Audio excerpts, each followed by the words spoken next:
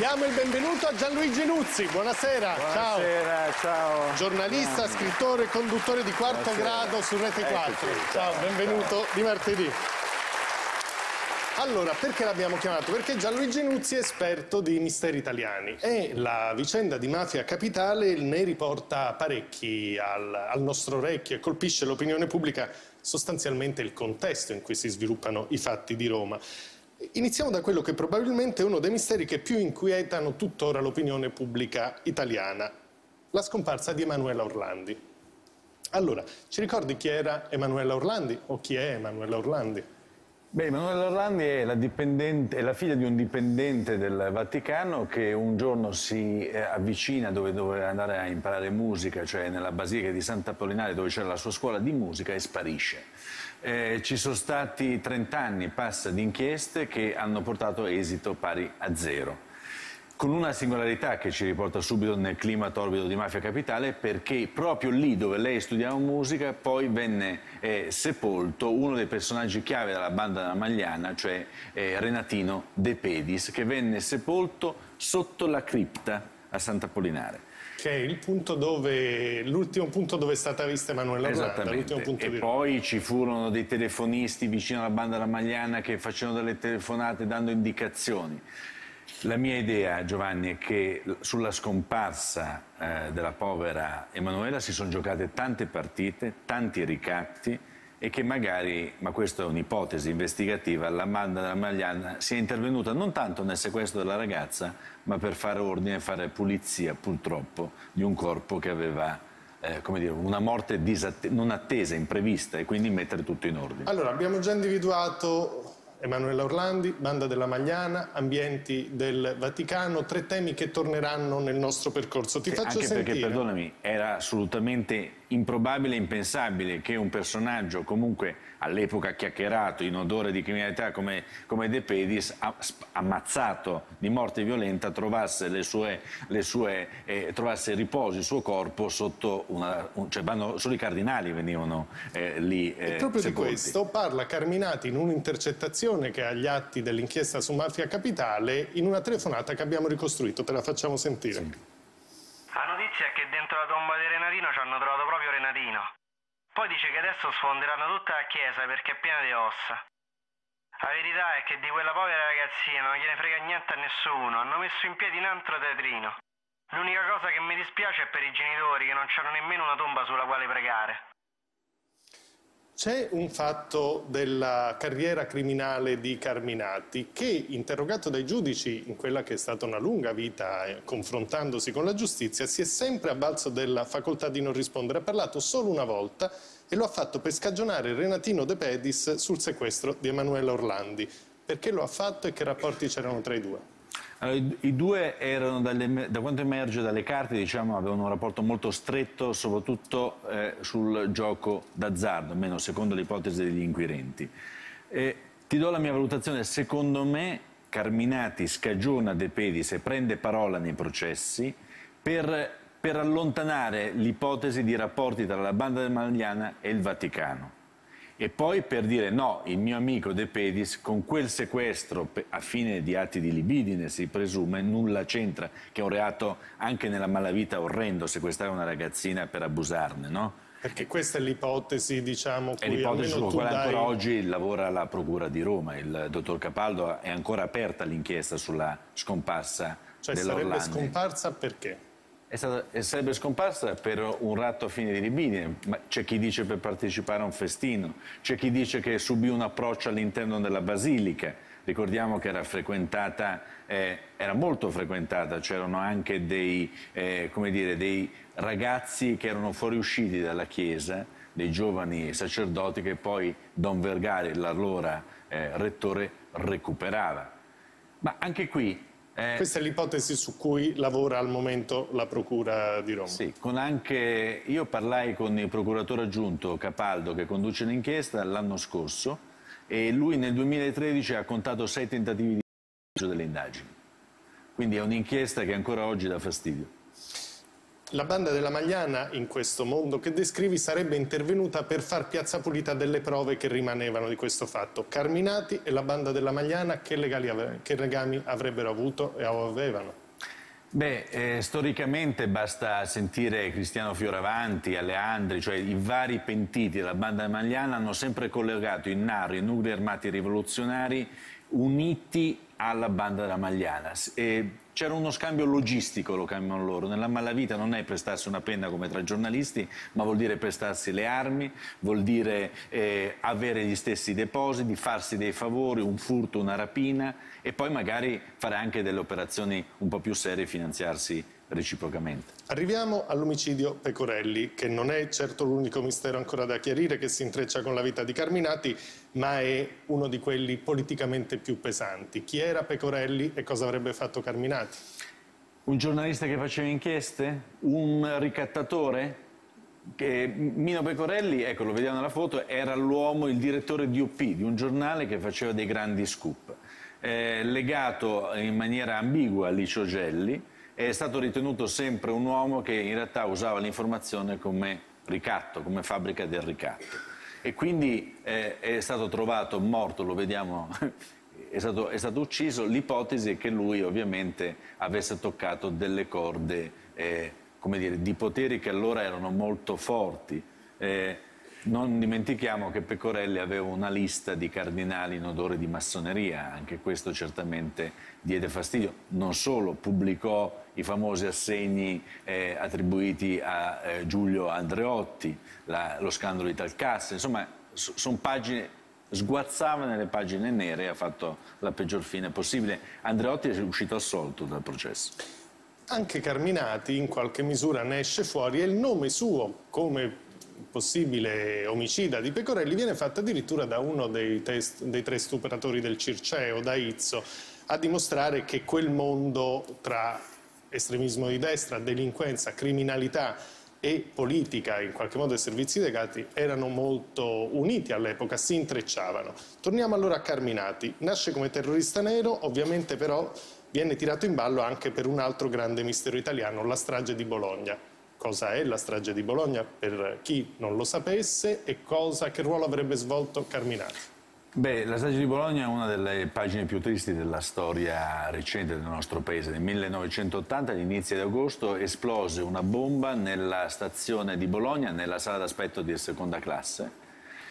Venne devastata la, la stazione e morirono più di 80 persone. Eh, questa fu una pagina di vergogna a cui se ne aggiunsero molte altre di vergogna, soprattutto per i tentativi di depistaggio che vennero attuati per non far scoprire la verità. E di questo Carminati venne accusato la storia è un po' lunga, diciamo in buona sintesi, venne accusato perché insieme ad altri, poi lui venne assolto, insieme ad altri avrebbero messo un mitra su un treno, sul Taranto-Milano, per far portare le indagini verso una pista internazionale, cioè non si voleva guardare in casa propria nella strategia della tensione, si voleva guardare fuori dai confini i, per una matrice internazionale che ovviamente avrebbe portato a nulla. Il problema Giovanni è che tutte queste inchieste eh, per vent'anni hanno subito dei peggiori condizionamenti, dei peggiori depistaggi. I giudici di destra, di, di sinistra, alti, bassi non c'entra, i giudici hanno fatto tutti una grande fatica perché eh, lo Stato non li aiutava, lo, lo, Stato chiudeva loro le porte della verità. E per chiudere le porte della verità utilizzava due strutture esistenti sul territorio, la banda della Magliana e determinate forme di terrorismo di destra, è così? Beh, la banda della Magliana ha costituito secondo me in buona sintesi come il triangolo delle Bermude, cioè all'uopo. Quando qualcuno aveva un problema chiamava quelli della terra di mezzo, come Carminati dice con efficacia, perché quelli della terra di mezzo ti, ti risolvono il problema, fanno, fanno, una pulizia, ti possono togliere una persona, possono mettere a tacere una persona, magari ricattandola. Ecco, la banda della Magliana, vedete, rispetto alle altre, perché ha avuto tanta eh, forza, ma non solo per la violenza, come eh, abbiamo visto in tante fiction, ma soprattutto perché aveva le, aveva le maniglie giuste nel mondo con i magistrati, infatti ci furono delle assoluzioni, ci furono giudici arrestati, con la polizia, con le perizie uscivano tutti matti, con i servizi segreti ci sono persone, personaggi della banda maliana che poi sono spariti, sono andati in Africa, inseguiti e hanno fatto delle latidanze d'oro. Di Carminati eventualmente sarebbe stata quella quindi di tenere aperto questo mondo di mezzo attraverso gli anni e di farlo valere ancora ora con tutti altri metodi. Ma ti riporto indietro, c'è una telefonata che Carminati fa agli atti dell'inchiesta che riguarda addirittura Ustica. È un passaggio brevissimo, ascoltiamolo. Se fosse uscito che Ustica era uno degli americani, sarebbe stata la guerra civile. Allora, Ustica, cosa succede? Ustica, siamo sempre nell'estate del 1980, un, un, un, aereo, un DC-9 Itavia, eh, viene centrato probabilmente da un missile.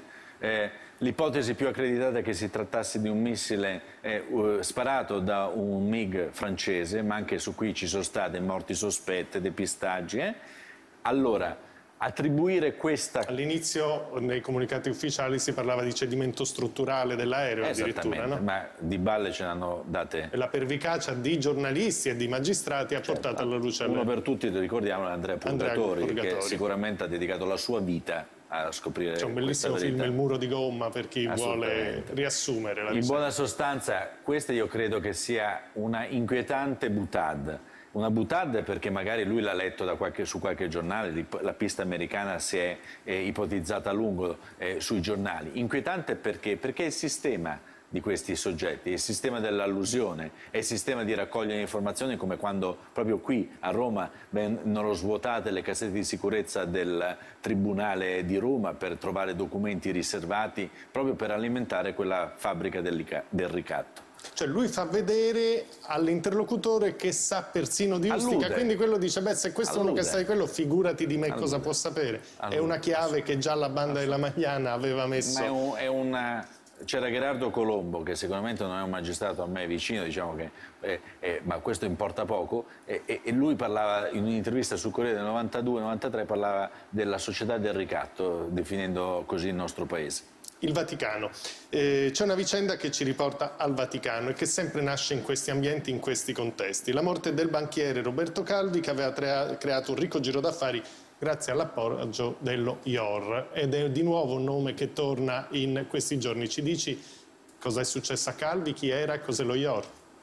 Allora, in buona sostanza, Calvi strinse con eh, Paul Casimir Marcinicus, il presidente all'epoca dello IOR, Istituto Opere di Religione, l'unica piccola banca, piccola poi che c'è all'interno del Vaticano, amministra circa 5 miliardi di euro di depositi. Il presidente Marcinicus, questo uomo eh, grosso, alto, robusto, con il sigaro in bocca e praticamente... Gioca a golf, che non fa mistero di avere vita, diciamo, laica. Vivace, diciamo, sì. ecco, diciamo così così. Mondana, direbbe Papa Bergoglio. Bene, eh, praticamente i, questo, questa, quest'asse Calvi, Banco Ambrosiano da una parte e Marcinicus dall'altra, fa muovere molti soldi. La, il, I vari processi hanno eh, dimostrato che c'erano anche molti soldi delle, della mafia di Cosa Nostra. Eh, viene ritrovato, dopo un, un, viaggio burrascoso, viene ritrovato sotto il ponte dei Fati Neri questo, il banchiere siamo nell'82-83, adesso non ricordo perfettamente la data, viene comunque ritrovato, impiccato. Per tanti anni ci hanno parlato di suicidio, eh, ma era una grande balla, anche qui questo uomo è stato ucciso. Ci sono state eh, molte inchieste eh, che non hanno sortito nulla e tutti i vari eh, personaggi della banda della Magliana, eh, Pippo Calò, vari, eh, Flavio Carboni, tutti i vari personaggi che si sono via via stati indagati e alcuni anche processati, sono stati tutti prosciolti. Eh, che non, stato, che non, si fosse suicidato si poteva capire subito. Chi ha risumato il cadavere che io eh, ho contattato mi ha detto ma sai, noi quando abbiamo visto il corpo di Calvi aveva tutte le unghie perfettamente limate come se fosse uscito dalla eh, manicure e quando mai un banchiere con queste unghie poteva invece affannosamente arrampicarsi lungo le rive del Tamigi, buttare una corda sulle impaccature sotto il ponte dei Frati Neri, mettersi dei mattoni nelle tasche, come vennero poi ritrovati nelle tasche del banchiere, e con un doppio carpiato eh, uccidersi. Alcuni hanno detto è stata la mafia, io non credo che sia stata la mafia, perché doveva dei soldi alla mafia, io non credo che la Cosa Nostra uccida una, un debitore, prima in cassa, poi si rivede. Io credo che invece Roberto Calvi fosse custode di eh, tanti troppi segreti. I soldi della mafia, Ernesto Diotallevi, che in questi giorni è di nuovo sui giornali per eh, Mafia Capitale, chi è e che ruolo svolge nella banda della Maglia?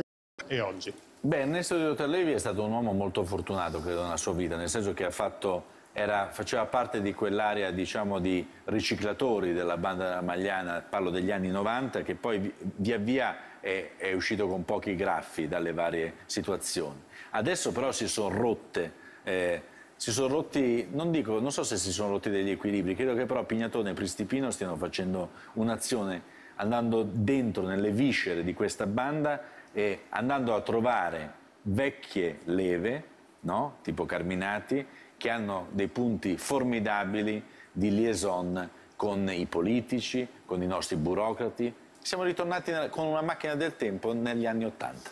In conclusione, cosa ti aspetti che possa uscire fuori e cosa ti aspetti che possiamo ancora scoprire su questo mondo di mezzo?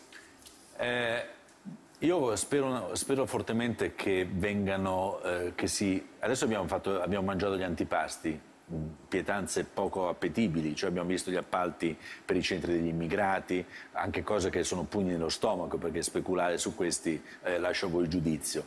Eh, però siamo, siamo sui piccioli, Falcone diceva seguite sempre i piccioli per trovare la verità. Ecco, andiamo sugli appalti un po' più sostanziosi, perché sicuramente abbiamo di fronte delle persone che hanno dei profili eh, criminali che sicuramente con i piccioli ci giocavano, ci giocavano la sera. Gianluigi Nuzzi, grazie di essere stato con noi. Grazie. Bocca al lupo per il tuo lavoro.